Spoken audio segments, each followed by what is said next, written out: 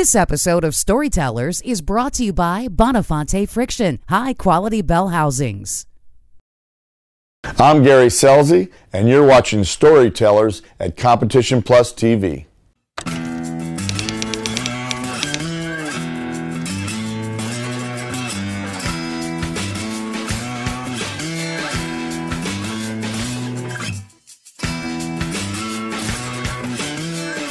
We all know that with Team Winston and the Johnsons the first year that adult beverage was a common place. And after the races on Sunday, our place was the place to be.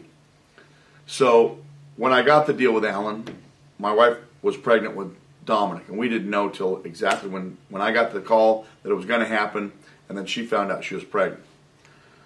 So that first year was pretty tough on me. One, because we had a lot of parties because we won a lot.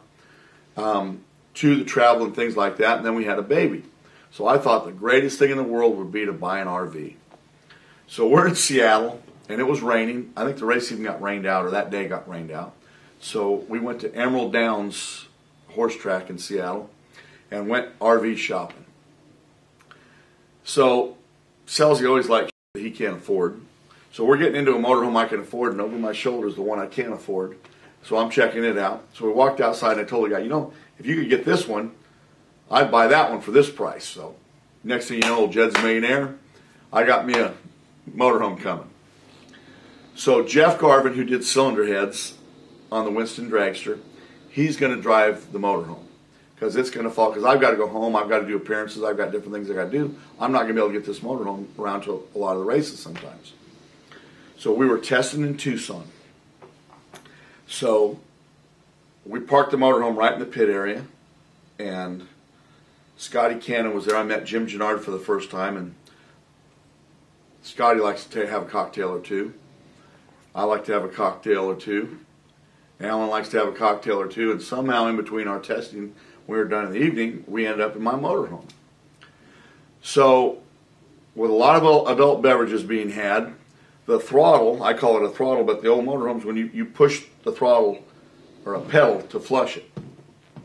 So somehow, Sunday night when we get done, I get Jeff, we're going to get in the motor and we're going to drive back to Santa Maria.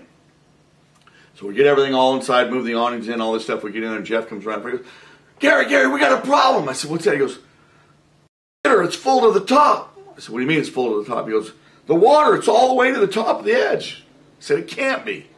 Well, what had happened was the throttle stuck and all the water filled the crapper, and it ran out of water as the crapper filled to the top. So it was actually perfect timing. So I said, Don't worry, Jeff, we're going to go down to the truck stop down here and we're going to dump the RV. This is going to be perfect. I'm going to show you how easy it is to have this RV.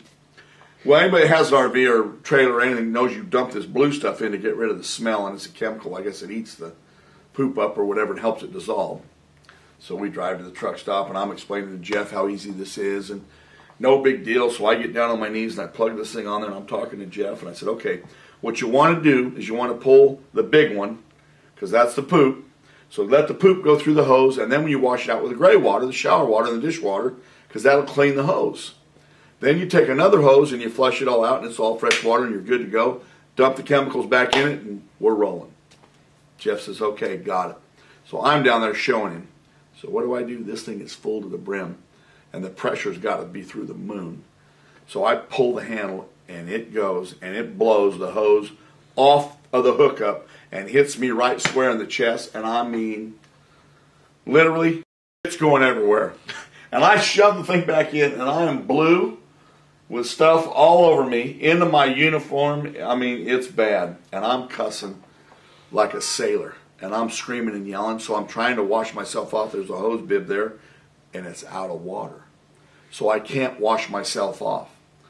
So I go to the outlets at this truck stop, and they've got all the handles taken off of the damn hose bibs. So I can't even lay under a, faucet to get this crap off me. Literally, get this crap off me. So I go in the truck out and get the windshield wiper thing, and I'm trying to get it off. And this is just a bad situation. Jeff's trying not to laugh and trying to be serious, it, it's horrible. So I'm not getting in my motorhome with all this blue shit all over me. I have to take my clothes off. So I'm in the middle of a truck stop taking my clothes off down to my underwear to get in my motorhome.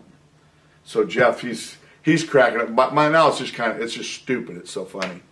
So I get in there in my underwear, and we pull out, and I pull out in front of a guy in a pickup. I mean, I'm not thinking. I don't look, and I pull out, and this guy's blowing the horn. He's yelling, and I hang out the window. I go, "You son of a bitch!" I said, "You pull over, I'll kill you!" And this guy looks at me, and I'm blue from the neck down, and he's got to think this guy's a psycho. So he takes off. So we go a couple miles down the road, go to another truck stop, get a hose, fill it all up. I shower off, and the blue is in my skin. I can't get it out. So the other guys were testing in Phoenix. So we drive to Phoenix, and I, I don't know how, but everybody seemed to know. So as I'm walking through the pits, hey Scelzi, are you feeling a little blue? Hey Scelzi, you going to Vegas? No, why? I heard you're going to be a member of the Blue Man Group. And those guys just would not let me live it down. It was horrible. But I guess you could just say everywhere. it was crazy.